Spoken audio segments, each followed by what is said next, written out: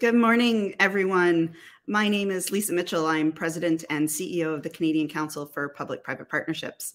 It's great to have everyone here with us this morning uh, for a very exciting discussion, getting a bit of a, a insight into spring 2022 market update with the Canada Infrastructure Bank. As many of you may recall, last November, the CIB's board chair, Tamara Vrooman, and CEO Ehren Cory gave the bank's first market update at our annual conference. Things are moving for the bank, and since it released, especially since it's released its $10 billion growth plan in 2020, uh, its priority areas to invest include clean power, broadband, large scale building retrofits, agriculture irrigation, and zero emission buses and charging infrastructure. Today, Ehren will provide a recap of CIB's past year of new investments and discuss new opportunities. But first, in the spirit of truth and reconciliation, we acknowledge the land we gather on is the traditional territory of many Indigenous nations. I would like to acknowledge that since I am in Ottawa, I am on the traditional unceded territory of the Anishinaabe Nation. I recognize that we're all joining from different places and that therefore you work in a different traditional Indigenous territory. I encourage you to take a moment to reflect on that and acknowledge it. It is a pleasure to host Ehren for this important update today. In 2020, Ehren joined the bank as CEO, bringing his strong leadership approach, infrastructure expertise, and track record of delivering results by partnering with the private and public sectors. In his role, he is focused on the CIB's strategic direction, including implementing the $10 billion growth plan to accelerate infrastructure investment in Canada and building the CIB as a results oriented organization. Prior to joining the CIB, Ehren was the president and CEO of Infrastructure Ontario, which many of you would have encountered him in his role there as well. Uh, the, many of you know that Infrastructure Ontario is a provincial crown agency responsible for financing, building, and enhancing the value of the province's infrastructure and real estate assets. There will be a chance for audience questions through the next hour, and I encourage you to do so. On the bottom of your screen, there's also an area where you can pose questions to Ehren. Um, there is also an ability to vote for questions if you'd like to push them up the queue and ensure that you get an answer in case there are many. Um, I'd also note that on the right hand side of your screen, you'll notice a comment section, and there's lots of greetings and good mornings there already. Um, so if you haven't uh, if you haven't found that already, you can share links and information with us and and with each other. Now, I, without much further ado, I'd like to turn things over to Ehren. Thanks, Lisa. Good morning, everybody. Um, boy, I uh, wish we were in person. Screens are always a less than perfect way to do this. I love the chat function on the side. It's nice to see some familiar names. If we were in a room, I would be able to actually look at you and say hi. But it's nice to see many of you colleagues from from our work at the CIB, and as Lisa said, from my previous role as well. Uh, really excited to be here. And as Lisa said, we're looking forward to I'm uh, chat Lisa and I, and then but questions from the audience. I do encourage them. We're always interested in talking uh, with our stakeholders and and having an open dialogue. And I'm really excited, as Lisa said, to talk a little bit about our progress over the last year. We're a Crown corporation, so we work on a April 1st to March 31st year. So this is a really good time to summarize sort of our results of the year past, but also to talk, look ahead and talk about what our priority focus areas are, and how we continue to look to partner with many of you uh, on this uh, call and many of you in the Canadian market to get more infrastructure built faster to the benefit of Canadians. Uh, thanks also, Lisa, for uh, the land acknowledgement, which I think is incredibly important. We're all uh, on territories of Indigenous peoples of many nations. I'm in Toronto, uh, the traditional territory of the Mississaugas of the Credit, the Anishinaabeg, the Chippewa, the Haudenosaunee, and the Wendat. A very rich history here in Toronto. Toronto continues today to be the home of many First Nations, uh, Inuit, and Métis peoples. And I really think it is important for us to always remember, especially in the infrastructure world, uh, the reality of the land we find ourselves in and the importance of working with elders past and present uh, of all backgrounds to get uh, uh new infrastructure built for the benefit of our country and for all of our citizens. So maybe just uh, if I can start, Lisa. Well, I'll just do. I'm going to talk just for a few minutes, and then we'll we'll have a nice chat together. As you know well, and many of the people, of course, in C2P3 know the CIB and its history, but maybe not everyone does. We're a crown corporation that's been in operation since 2018, and with a mandate to invest 35 billion dollars of public money in infrastructure projects. And we do that in uh, five priority sectors: clean power and green energy broadband, transit, and trade and transport. Those are the five sectors we're currently focused in. and we do it in partnership with all levels of government. Of course, the owners of infrastructure assets, often municipalities, provincial governments, with colleagues in the federal government at times, with Indigenous communities, and in collaboration with the private sector and institutional investors and pension funds. Our big focus is on getting more infrastructure built faster because of the positive outcomes that infrastructure delivers. Growth, economic growth and job creation, greenhouse gas emission reductions, better connectivity of Canadians through both transit and digital connection, and closing infrastructure gaps in Indigenous communities. So our goal is to focus on those outcomes and deliver more infrastructure. So uh, the last year has been a real year, as you say, Lisa, of momentum and growth. There's one thing I could leave you with is that we are on a different trajectory at the CIB these days. Uh, uh, you can capture that in numbers. I can capture it even better in real projects and real examples. But in terms of just straight numbers, we're up to now 28, as of March 31st, 28 uh, projects where we've made firm investment commitments. Those have a value of, of total $21 billion or so of capital value of those projects. The CIB is just over 7 billion of that money.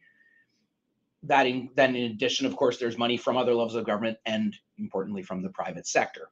That $21 billion of projects, it's across all five of the priority sectors. And um, the pace of that has grown significantly over the years. So as I say, we're up to, in our history, we're up to 28 firm investment commitments, 20 of those made in the most recent calendar year or the most recent fiscal year that just ended, excuse me. Um, a different way to talk about our momentum, though, is to talk about the partners that we're working with. Uh, the Caisse on our REM project, our first investment, but since then, uh, farmers in Alberta, Algoma Steel on a change to their facility, Enwave and their uh, uh, uh investors, teachers, and IFM, municipalities from coast to coast, indigenous partners like the Tshiuetin Rail uh, Transportation Company or Kahkewistahaw First Nation, interesting entrepreneurs like NRStor and Annette Verschuren and her team and Six Nations of the Grand River Development Corporation, who are her partners in, in their project. So partners in both the private and the public ISPs, I should mention, to, to get broadband uh, to hard to access areas. So a different way to measure our momentum, different than number of projects and dollars, is to talk about partners. And a third way to think about our, our momentum is around outcomes, where we're at uh, well over 3 million uh, tons a year of GHG emission reduction through the infrastructure we're building uh, as it gets into operation. And you can talk about specific projects like where you, I mentioned Enwave as a partner. It's a great example of a project where our collaboration with them will expand their network reduce GHG emissions by 60 to 70,000 tons a year when finished. It's like taking 12,000 cars off the road. That's a different way to think about our momentum. The zero emission buses that we're doing with Brampton or Edmonton or school buses in Quebec and British Columbia are all ways that we are focused on putting non emitting buses on the road, taking GHG's uh, emissions out, having cleaner, safer, quieter transit options in our communities. So these are all ways the REM project increasing transit ridership uh, when it opens uh, over the next uh, later this year and then into 23 24 uh, increasing crop yields a different way to think about outcomes. Our alberta irrigation project which is in construction uh, across irrigation districts to add 200000 acres of irrigated lands in alberta. These are all examples of the outcomes we're having um, I guess I just want to talk a little bit about the future then. So that's the past, that's the momentum we have, and you should expect to see that continue. I hope many of you on this call are now working with us. I do want to just talk to the future. Our mandate, as will, you will have seen, and Lisa, we can get into this, but it, it has continued to expand. The budget identified a number of areas uh, within those same broad five sectors, but new areas of investment focus for the CIB increasingly in areas of privately owned but public good infrastructure. So these are things like the deployment of new nuclear technology, small modular reactors, which will help accelerate the transition to a net zero electricity grid and is so important to getting to our, our goals. Um, the rollout of electric vehicle charging infrastructure across the country, making sure we have a viable public network of charging to support the rapid uh, conversion to electrified fleets or working on carbon capture, utilization storage, or low carbon fuels, hydrogen production, transportation, and distribution.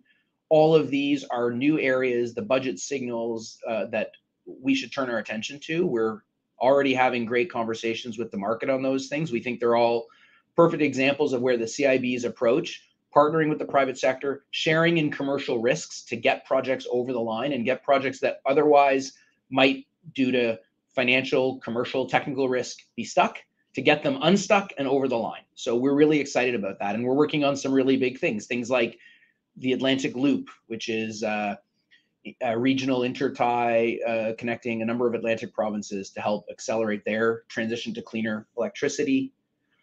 Interesting rail projects like the high frequency rail project, of course, with the government is working on the dedicated route, the Toronto, Ottawa, Montreal, Quebec City corridor. We've been working on that for a while, but that's really accelerating. We're also working on an interesting transit uh, uh, rail project in in Alberta, uh, from the airport through downtown Calgary into Banff, where we're working um, with private sector and public sector on the business case for that. We're also working on new area, new things on building retrofits, and there's going to be a lot in this space. I think in the next few months, both with public sponsors. We're working with cities, the, the city of Edmonton, the city of Calgary, a number of municipalities that we're talking to, provinces, and also private building owners. So lots to come, a lot of big, uh, quite transformational things as you look across the country that we're working on. And uh, I think that momentum is only going to continue.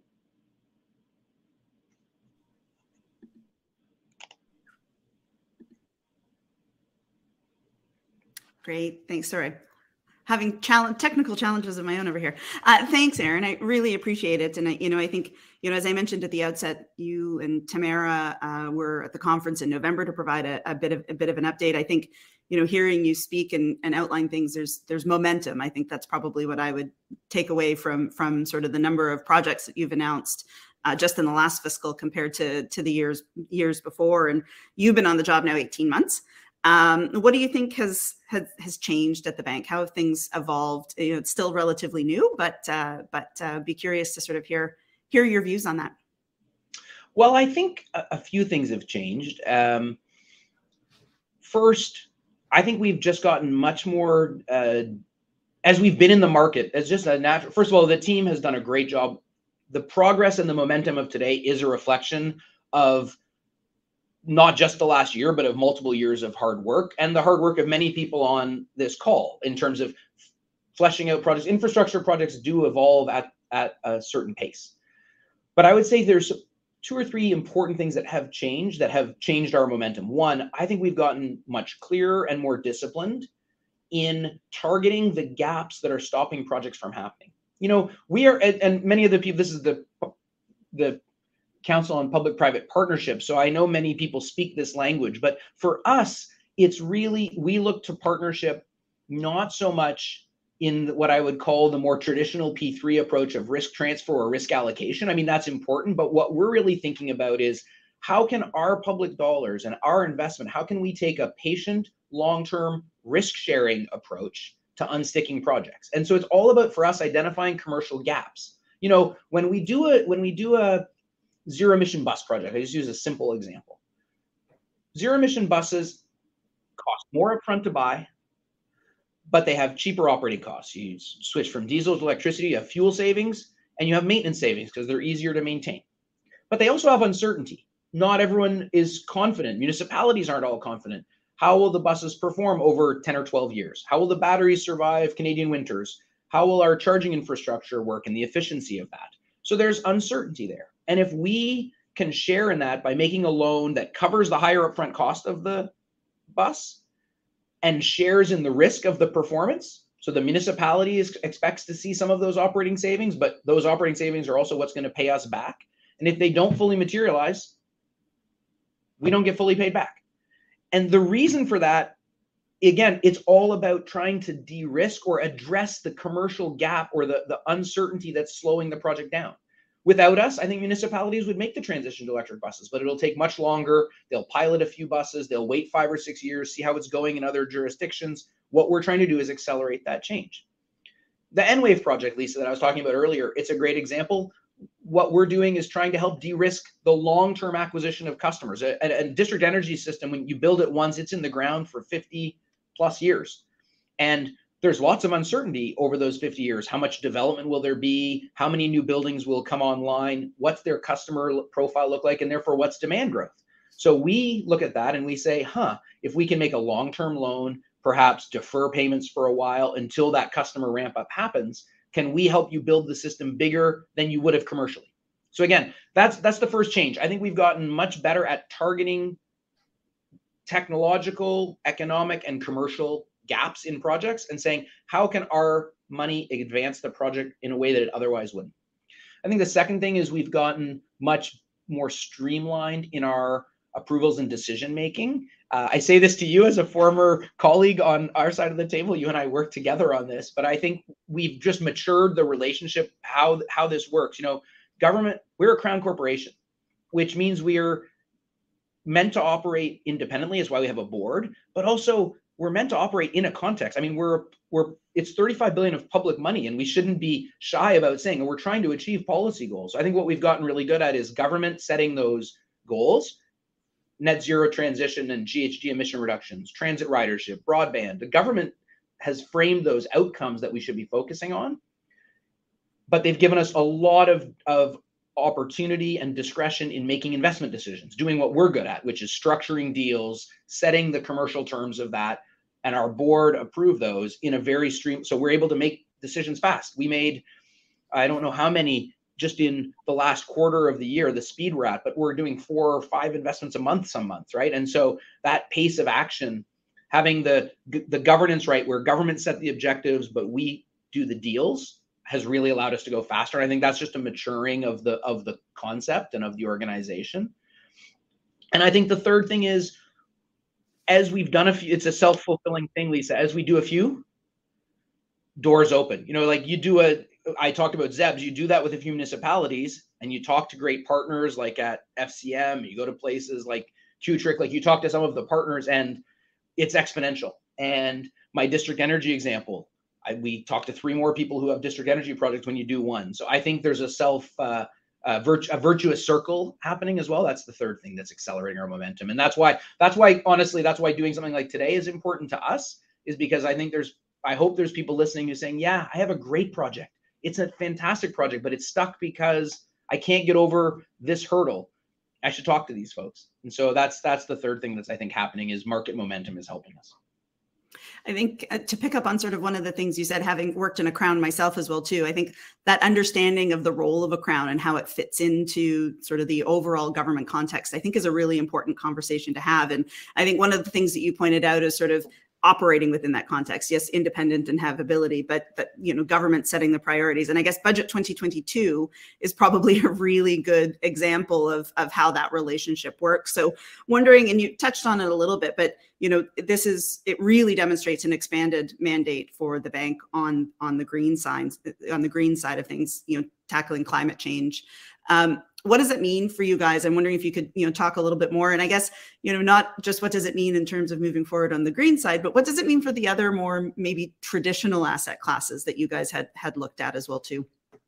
Well, it, I mean, we're really excited about about uh, some of the the new areas of focus. To us, they are, as I said earlier, they fit still within the same broad themes and the same broad sector definitions, but they're areas that I think offer um, Tamara has this expression that I love. She talks about multiple word scores. I'm not a very good Scrabble player, but I really gravitate to this. We used to talk about triple bottom lines once upon a time in this industry, but this idea of, scoring on multiple fronts, the thing that that all of the CCUS, low carbon fuels, hydrogen opportunities, SMRs, the thing they all have in common is they deliver on yes, our climate goals. You're absolutely right. They help build resilient new infrastructure for the long term that that accelerates our trans the transition we have to make. It's not it's it's it's not even a choice. It's a it's a thing that's happening, but they it puts us focused on the infrastructure for the next generation. But that infrastructure also drives economic growth and jobs. I don't just mean in the building of the infrastructure, but I mean in the potential for export, the potential for economic growth that come out of them. If we are leaders in some of these areas, they will provide both opportunities for Canada to meet its emissions goals, but also our trade uh, uh, trade goals. You know, green hydrogen is an export opportunity for us as well. It's it's a fuel source. Small modular reactors, if we do it right, it builds a supply chain. Uh, so so we look at it as I say with with the view of multiple positive impacts, and uh, and so we're really excited. the budget, they're they're all areas where we've been having really active conversations with the market over the last six months or so, and I think there's a lot of project opportunity um, and a lot of great entrepreneurs and great companies who are well down the road of advancing projects in these areas. And so we're excited to be in conversations now about those projects coming to final investment decisions and our potential for participation in them.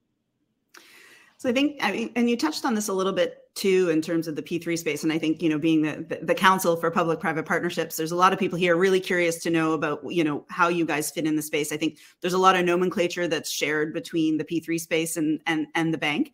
Um, but I'm wondering, you know, in terms of leveraging private capital in the P3 space, is it's, you know, it's really a tool to enable that risk transfer.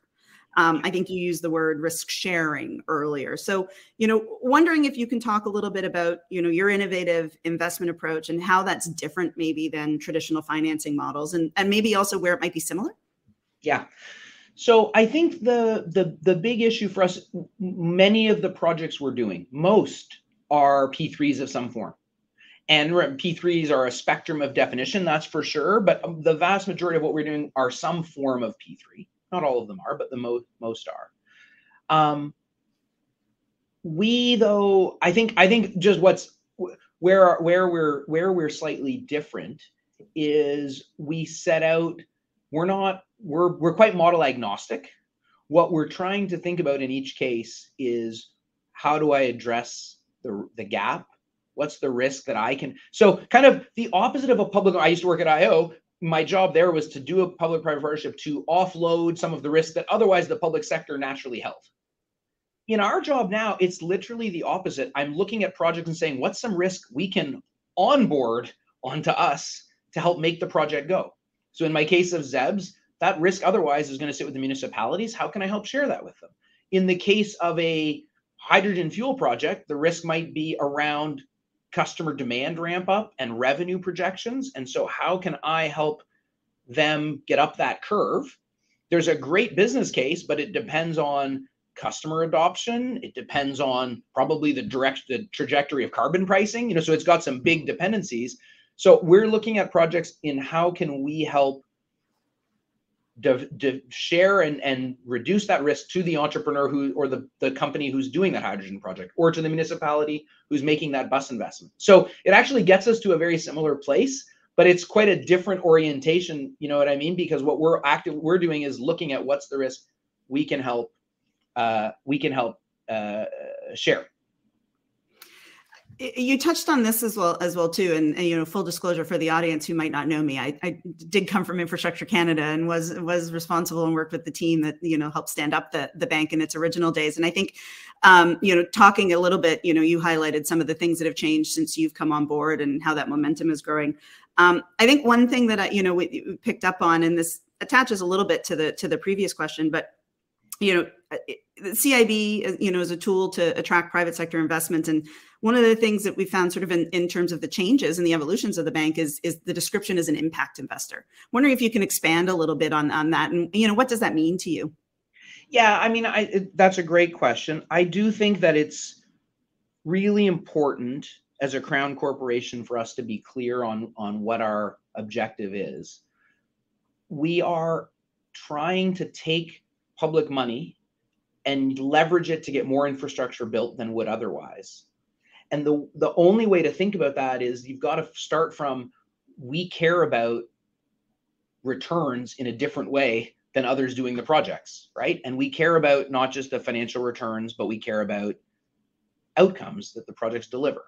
The way we look at investments, which in people people might find interesting, for us, that ZEBS example, zero emission bus example I gave earlier, the way we look at it is what's the amount of money we're investing and what's the money we're putting at risk more more even more importantly than how much in dollar terms but how much is that risk if the buses don't perform? So we do sensitivity of what's the dollars that we're putting at risk compared to what's the outcome we're getting in terms of tons of GHG emission reductions per year.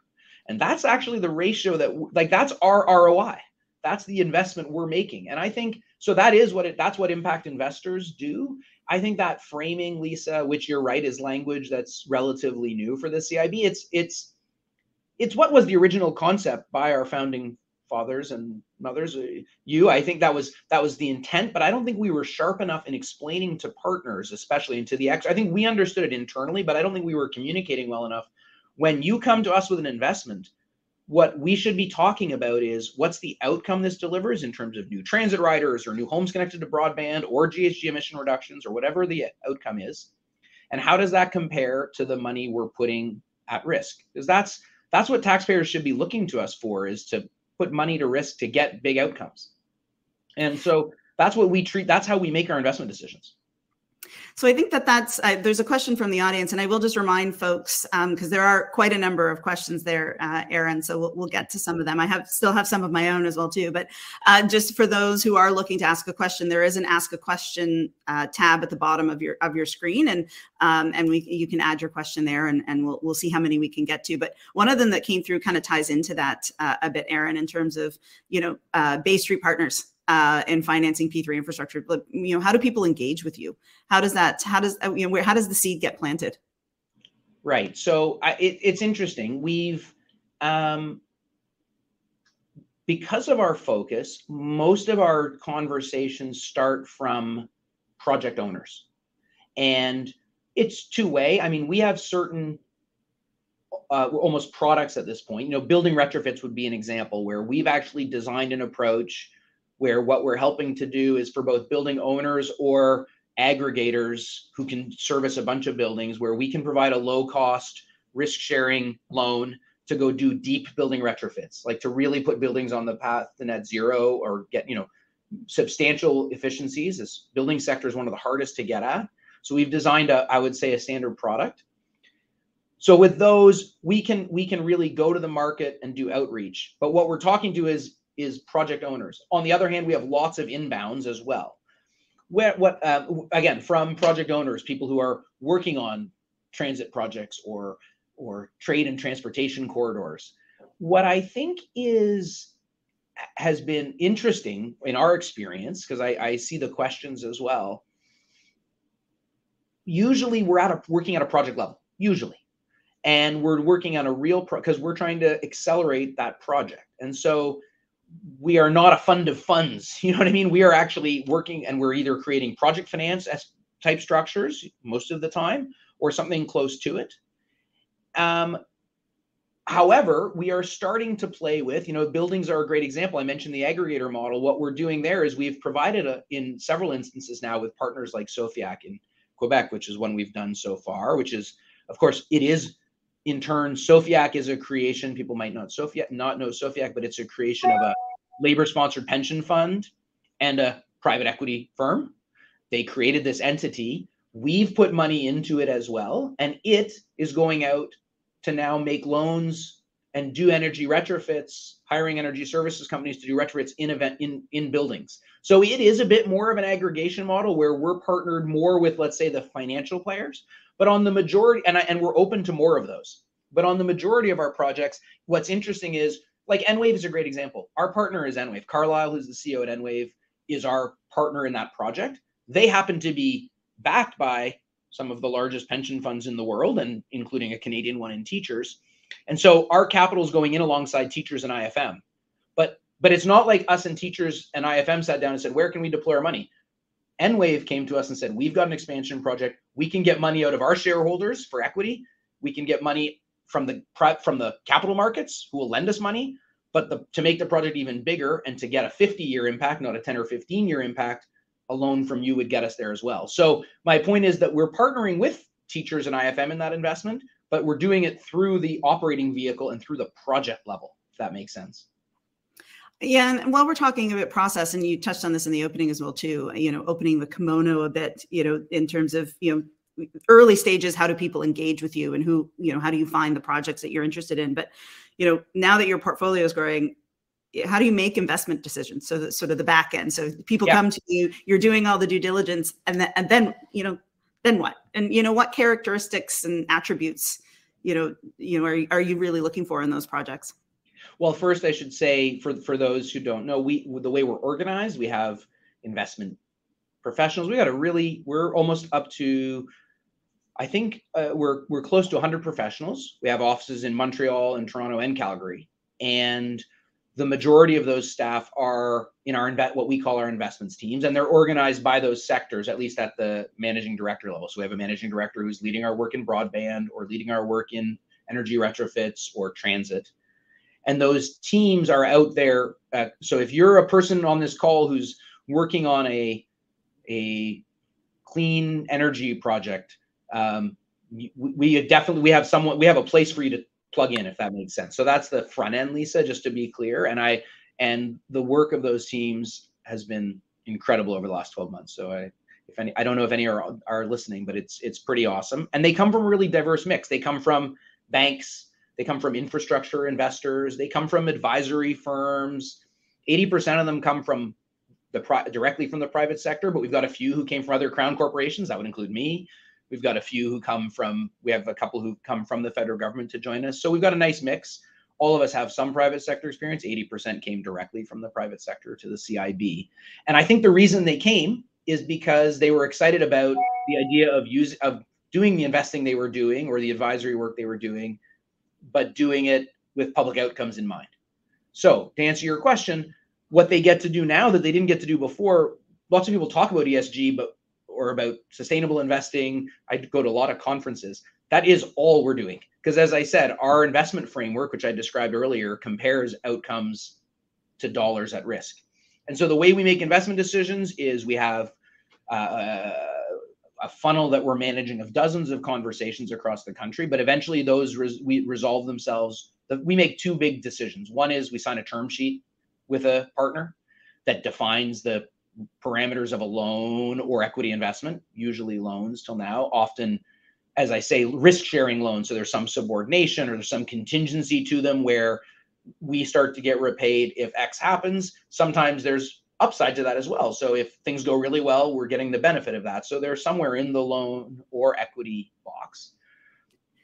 And we sign a term. So we we negotiate a term sheet that comes to our investment committee. We evaluate them based on, as I said, outcome for dollars at risk. We go to our board and get approval. We sign a term sheet, and then we do very typical due diligence. Usually, hire an LTA, a lender's technical advisor, to help us do a, both a technical and financial assessment of the deal. There are often finalization of things like the final capital costs that are also happening in that time, and then we sign. If it's a loan, then we would sign a, a credit agreement and loan documents and start to flow funds. So that's our investment process. Pretty standard. It's can go as fast or as slow as the project. Like we're never the bottleneck to that process, uh, really, ever. But it's got to be timed to the project. Sometimes the bottleneck is that the project isn't done, isn't far enough advanced from a technical standpoint to have a final capital cost. Well, I can't loan 30% of the cost of a project if, if we don't know what the project is, right? So there's just natural uh, time takes time, as they say but that's our process. We're pretty quick and disciplined to work with. If you're in one of those sectors, then it, it is purely up to our team, and then eventually, uh, uh John and I, John Casola, our CIO, and I, who take those to the board and get approval and and uh, and and sign. So it's a pretty quick and commercial process, if you will, uh, on the back end. I think that's I think that's helpful for you know to to people understand and uh, you know having been in the public sector I think sometimes public sector decision making is always a bit of a mystery to to folks so I think it's good to understand how you guys how you guys look at things. Um, I, I want to switch gears a little bit if it's okay, Ehren. Um, I mean earlier this week the First Nations Major Project Coalition had their conference. Uh, I heard it was very very well attended. I watched online myself. A lot of talk about infrastructure um, for the two days that that were there. Um, you know, from your perspective, from the you know what the CIB is seeing, you know, what can be done differently to help improve the infrastructure deficit in Indigenous communities, and, and what are you guys doing to to try and support that? Right. So I, I when I mentioned outcomes, I, I think one of the I, I did mention this, but one of the clear directions from the government to the CIB is along with outcomes around GHG emission reduction, transit and broadband connectivity, trade capacity, is the objective of closing infrastructure gap in indigenous communities so I, I, have a two part answer by the way lisa to your question so the first part is about how do we get more infrastructure built in indigenous communities we have um, had some real success stories. We started that was that direction came to us last year about this time. It was last March, I guess. So in the first year, we've had some real really interesting uh, success stories. I mentioned that in our partners, I, I mentioned Kahkewistahaw, which is a First Nations Saskatchewan that we're working with on this project. Um, it's it's we're doing enabling infrastructure for an expansion of a of an urban reserve. And what's what's so interesting to me about this project is it's uh, it's not a reserve in the way many of us Canadians perhaps have historically conceived of them. It's it's urban. It's in it's just outside or in in in the borders of actually uh, Saskatoon, and it's to build out a community and to build the enabling infrastructure, street, water, broadband, the enabling infrastructure that underlies that community. And we've partnered with the First Nation with a First Nations bank and with the community to build this infrastructure. And the lesson we learned out of that, so that's a 15 or so million dollar loan from us to do some of the enabling infrastructure. So the, the lessons for us were out of that, and I think it's really instructive for where we're headed. Number one, we had we had to scale a lot of what we do if we're going to work in those communities because the infrastructure, whether it's my Kahkewistahaw example or if we were talking about getting an indigenous community onto cleaner power sources because so many are on on diesel or other fossil fuels if we we're trying to get them to clean it has to be at the scale that the community water would be the same thing it's got to be at the scale the community needs and the CIB's general threshold, I didn't say this, but many on the on our Zoom might know this. Um, we target investments of $100 million and bigger of our money, which means the project is some multiple of that. Okay, well, that's just not going to work for in community infrastructure. So we've had to design simpler tools, easier legal agreements, easier due diligence process. There's, you can't put the same burden on a $15 million investment that you would on a $500 million investment. And so we've worked really hard at that. We have a great team on our side that works and partners with Indigenous communities to, to come up with those types of projects. And we've got, so that's one tra- track that we're on.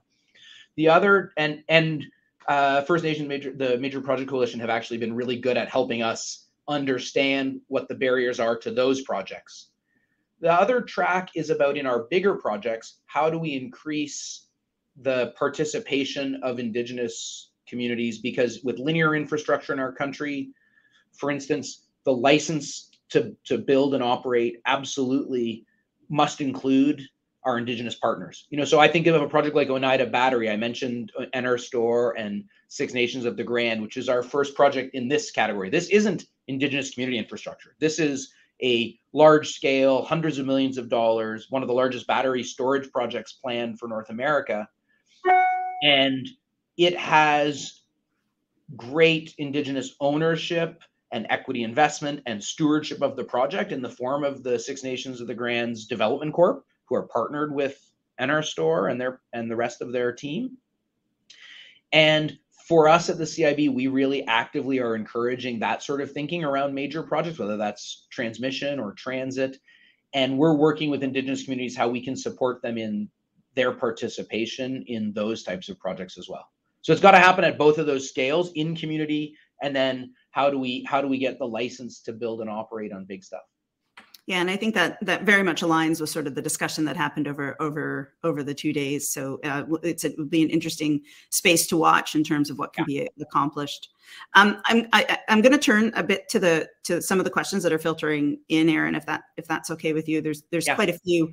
Um, uh, there's a question from Bruce, which a lot of people uh, are very interested in, in hearing. I think yeah. you can see them on your screen too, but for the benefit of the audience, uh, regarding EV charging infrastructure, do you see the priority being commercial municipal applications, sort of supporting fleets of buses or trucks, or general public applications, so passenger car EV charging stations? Right. So, uh, great question, and we're uh, I don't know if my answer is one or the other, but I'll say it this way. In our work on zero emission fleets, like on the bus pro- program that I talked about earlier, to be clear, if we're working with the city of Brampton on the Accelerate or Ottawa or whomever on the those both of those are pro- projects we're working on, on the accelerated conversion of their fleets, that has to con- include the purchase of buses. I talked earlier about fronting the higher upfront cost of the buses and managing the risk of performance. But it also has to include the charging infrastructure to support those fleets.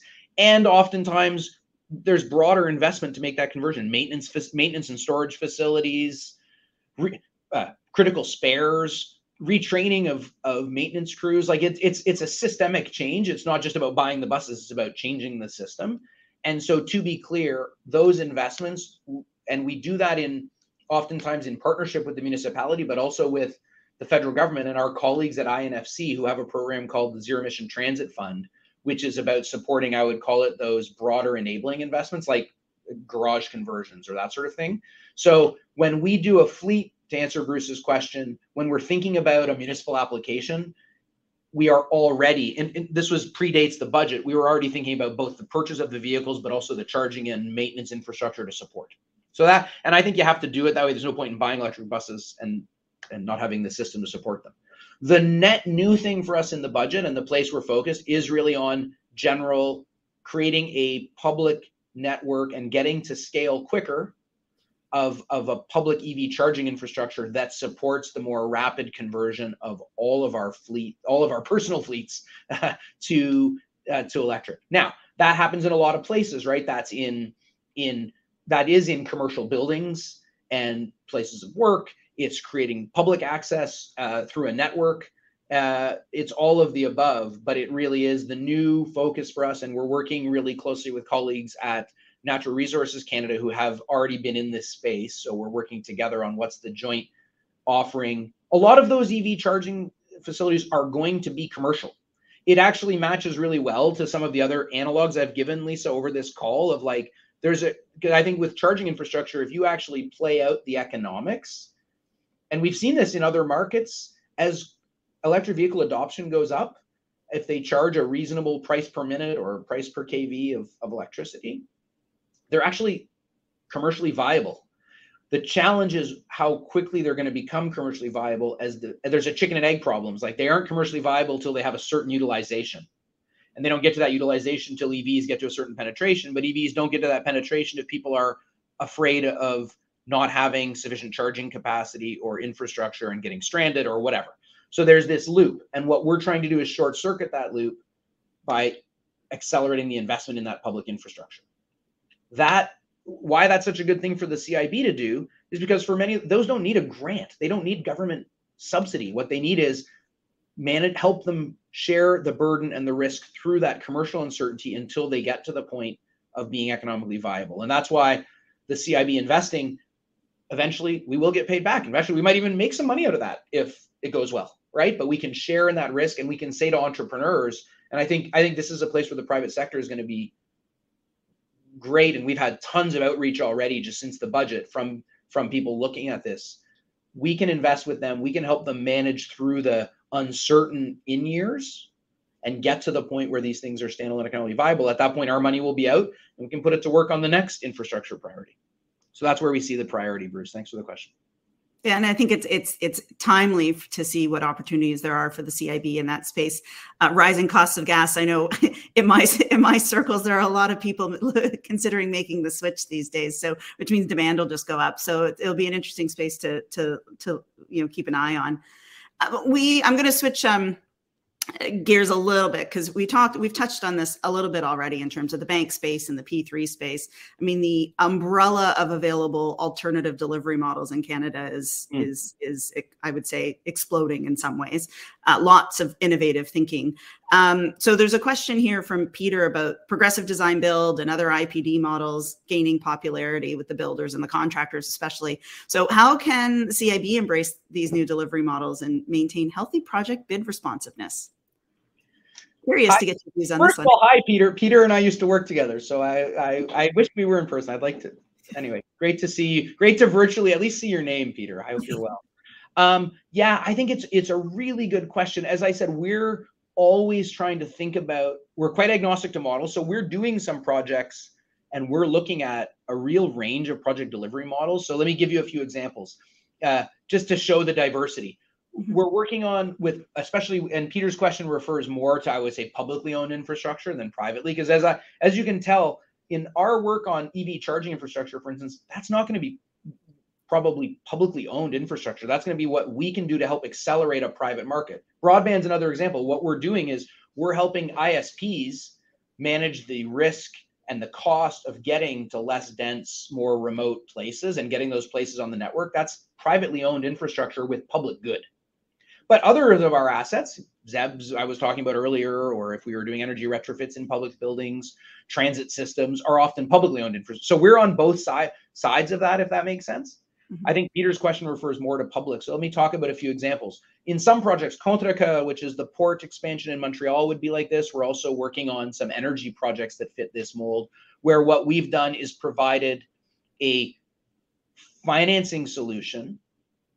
We've negotiated that with the owner, you know, Port Authority of Montreal, or in the case of my power example, um, which I don't think is public yet, but I'll just say with with the province in question and that financing and it and it's a financing that fundamentally shares in some of the revenue side again, some of the demand risk that's going to come and the ramp up. You know, Contrecoeur is a great example. There's going to be increasing trade. We know this.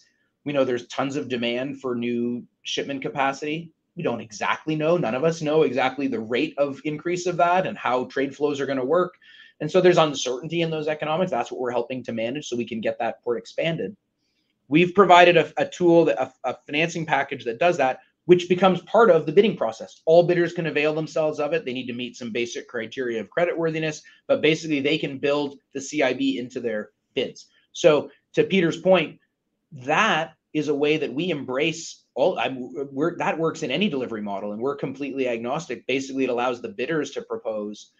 We're also, uh, to use a different example, and the the request for expressions of interest on high frequency rail would be a good example of this. We're very clearly exploring more developer led models where what we're doing is going out and and similar to your exam your question peter about progressive db but where we're going out early and picking a uh, looking to pick we're not at that stage yet on hfr but the the way we're thinking about it at least is working with our colleagues in the federal government via to select a, a development partner and then to develop out the project and to create aligned incentives with them where we all have real skin in the game to deliver the, the best value highest npv solution which encompasses not only construction cost which is often the focus of uh, of the historic public procurement but also ridership quality of service and therefore ultimately the npv the service delivers. So that's the way we're approaching this. And I, as i said i think that's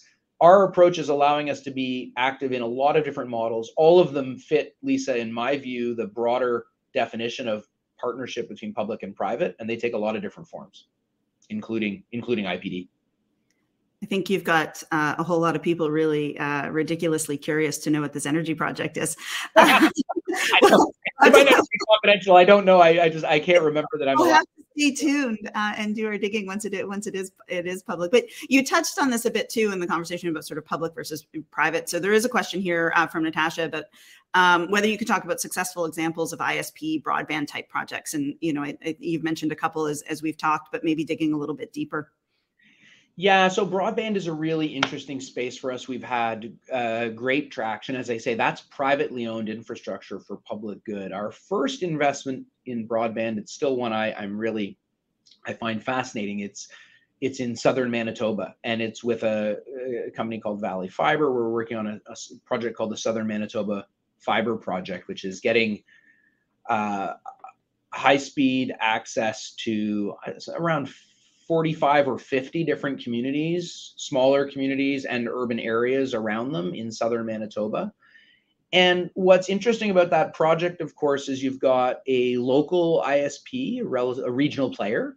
They have significant private capital backing them. They they have a uh, they were they have an, a significant investment in them from from DIF, which is which many people callers on this uh, would know as one of the larger infrastructure investors in the world. So it's a really neat mix of a local or regional ISP and a global pool of infrastructure capital and the CIB. And what we've done is we've again helped them, we've helped lower the water level, if I can say it that way, on that investment by helping them go faster, get out to those communities. You can imagine if if DIF and and the team at Valley Fiber were doing that together, they would have a certain 10 year capital plan and they'd slowly build out to these communities. And depending on the revenue of the first few, they would then use that to reinvest in the next few. What we've done is help them accelerate that whole process, get order all of the fiber at once, get to all 45 or 50 communities quickly. And there will be a ramp up. Those are all communities, by the way, that today don't have high speed internet. Our focus in broadband, to Natasha's question, we have a very clear focus, which is getting 50 10 minimum speeds to every Canadian. Um, so we're not investing in downtown Toronto in in or getting getting to the next level of speed, if you will. We're really focused on the million or so households in Canada that don't yet have access to functional broadband.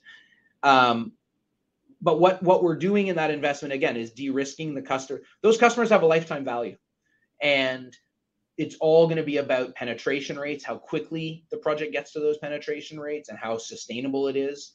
It's also going to depend a little bit on um, the density of population in those areas. Like the economics are challenging for some of these projects especially the further remote we get. You know it's a pretty basic math of density. So our investment is allowing those projects to happen quicker and where the ROI for the ISP the ISP is making their capital plans and it's falling below their return threshold and they're like well we have better places we could put our scarce capital than to getting to the the broadband to that next 10,000 homes and so that's what we're working on and it's, my, it's, my Manitoba example is just one. We've done that extensively in Ontario.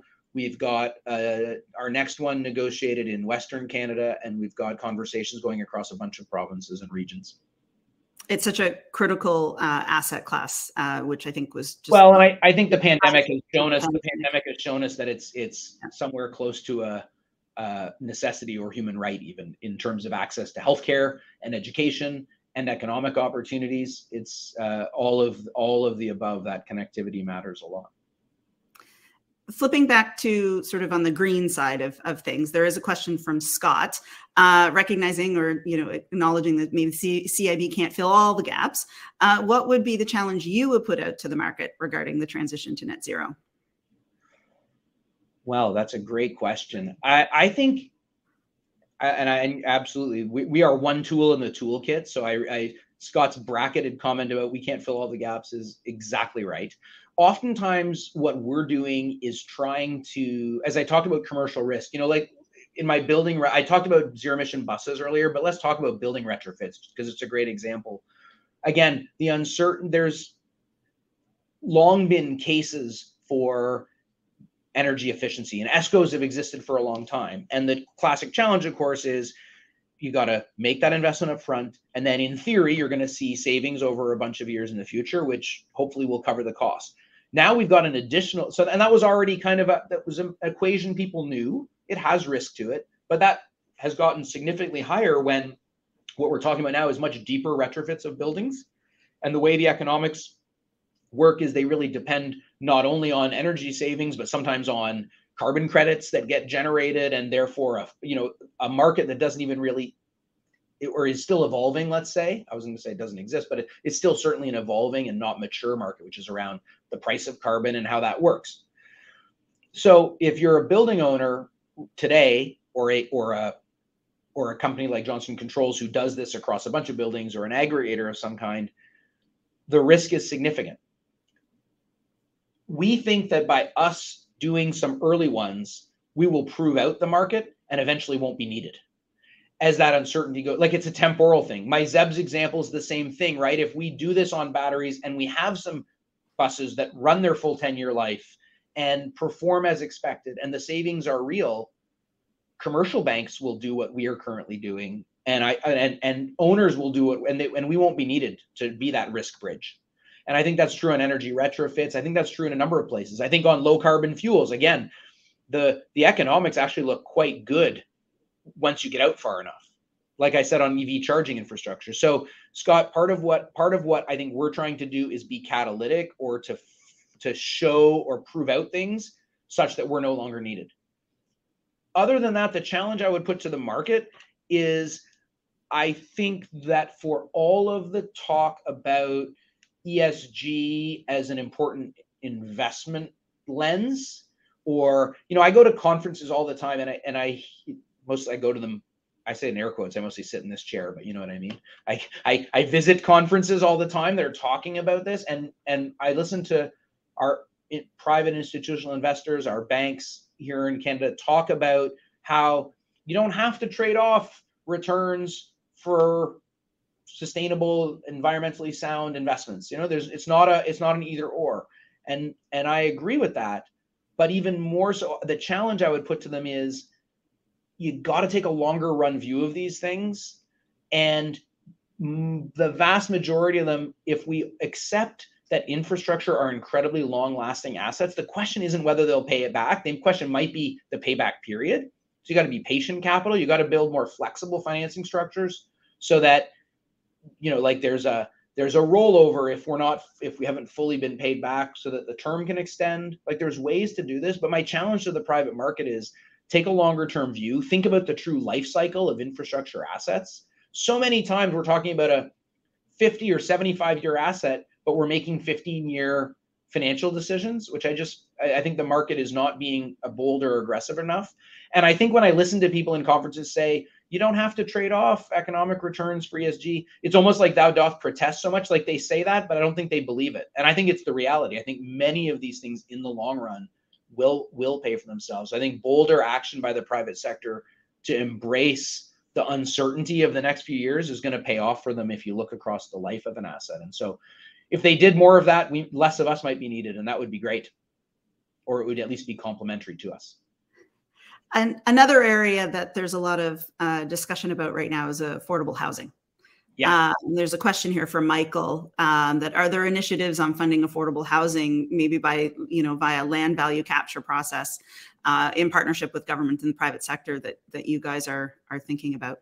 Right. So right now, as I've talked about the outcome, the you know in my in my meta governance conversation earlier, we were talking about government sets outcomes and we and and we agree together on the sectors to hunt for those outcomes and then we go do investments like that's the chain the flow in our outcomes, when I talk about them, you will note that increasing housing housing affordability or the the stock of affordable housing can isn't one of our targeted outcomes right now. That's actually there's other parts of the federal government that that is. If you if Romy was here from the CMHC, she would say that's on her list. I do think it's a space where in the longer term we're going to continue to see innovation and whether that's the CIB or others like us. I do think that a lot of the same principles we've talked about here about risk sharing, and about improving closing commercial and financial gaps, they would work there. But I just want to be clear that's not an area that CIB plays right now. But just because I, I do love the question, I will say this. We are absolutely talking to people about all the ways, the innovative ways to repay or to take and share commercial risk on um, projects that are in our sectors. So, as an example, like on transit projects, transit oriented development, special area charges, tax increment financing, all of those we would we would and we are exploring those and actively pursuing deals in those areas not because we have an outcome of affordable housing but we have an outcome of getting more transit built and we'll take repayment from riders or from development that comes you know actually it's funny but if you go back to my Enwave example from earlier the risk that we're sharing with Enwave is actually around development. It's around the growth in their customer base, which is fundamentally about future development and new buildings and commercial buildings, multi-res buildings that get built adjacent to their network and that join into their network. Because as they do that, there's a positive climate benefit by using a district energy system rather than being using a bunch of natural gas as a building, right? So we are implicitly taking a risk sharing position with our partner on development. Well, we'll do the exact same thing around transit projects, which we think is a great. So again, we're not doing that because we're in the development business. We're in the transit business, but we're willing to take and share at least commercial risk around demand growth on the transit itself, but also demand growth around it, which could include development. So stay tuned. maybe down the road. But I think uh, your your point on sort of transit oriented development and transit oriented communities, I think is you know is is is a good one because there is quite a bit happening in that in that space right now. Um, this feels like a little bit of an unfair question, so you know crystal ball it a little bit. But you know what what's what's the outlook look like for the CIB? What trends are you seeing? You know, what's 2022, 23 fiscal going to bring bring forward for for the CIB? Well, I think you know one of the things we haven't talked about, Lisa, but I, I do think it's a change for us is, and it's why the moment I think our momentum is sustainable is because I, I think one of the other things we're doing differently is we've taken a real portfolio approach. Infrastructure is a lot of things, right? And and it's the REM, a six billion dollar transit project. It's also broadband in southern Manitoba. It's also uh, agricultural irrigation systems in rural Alberta. Like it's and and I think what's been important for the CIB's maturation has been to think about. Uh, we sometimes talk about working at two speeds. You know, like there are some projects, ZEBS, this with the city of Brampton, can go from conversation to term sheet to investment deal to bus orders pretty quickly. Interprovincial transmission in our country is complicated. It involves multiple utilities, multiple regulatory bodies, multiple provinces, uh, it, they're they are uh, complex environmental assessments. Uh, like they're they're they are different beasts. And because of that, I think we really have had to think about the CIB as working across a portfolio.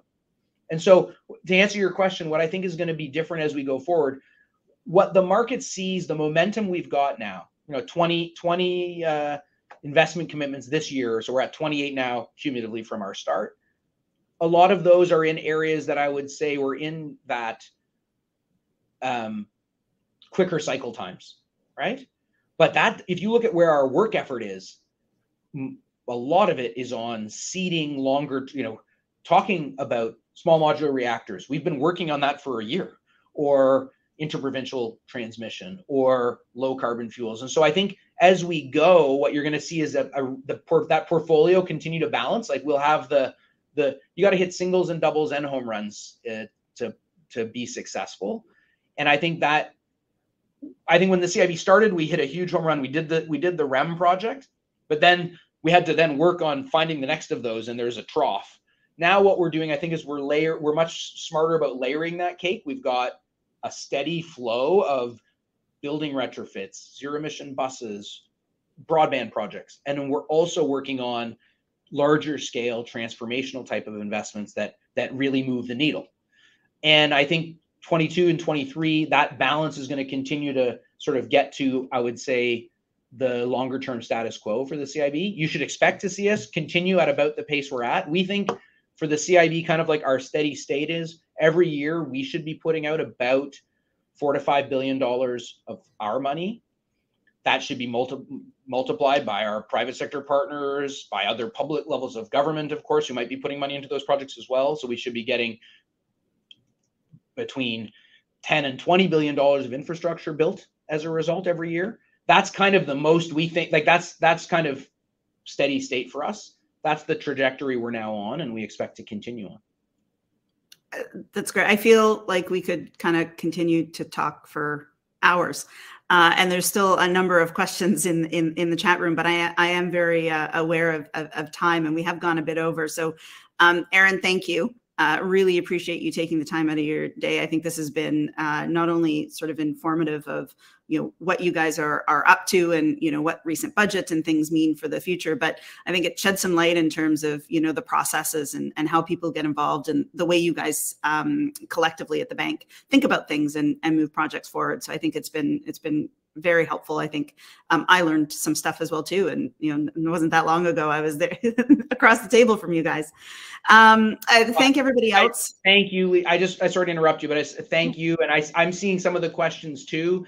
I'm sorry we didn't get to some of them. People want to follow up with us. You always can. And I think there's some, I just would note, I see some really interesting ideas both in the chat and in mm-hmm. the questions. You know, there's a there's a comment about resource roads and, and work that's most recent, or it's at the bottom of the list. I don't know if that's the most recent or the oldest, but I just, I'm scanning here saying, oh yeah, I wish we'd gotten a chance to talk about that too. So please, people have things they want to talk about. Always know that uh, we're really open our job is to find creative ways to say yes to stuff, right? We're not in the no business. We're in the how do you get more stuff built faster business. And so we'd love to hear from people who have interesting ideas, people who think something I said on this call is totally misguided. We like hearing from those too. They make us smarter. So anyway, appreciate the dialogue, Lisa and audience, and I and I Great, thank you. And yes, I mean, I you know I have your contact info here, and then you know uh, you guys are very open to to hearing from folks. So you know, apologies for not getting to all the really interesting questions. Um, I thank you everybody for joining us today. I appreciate everybody coming out uh, virtually. I look forward to seeing everybody uh, at one point in time face to face.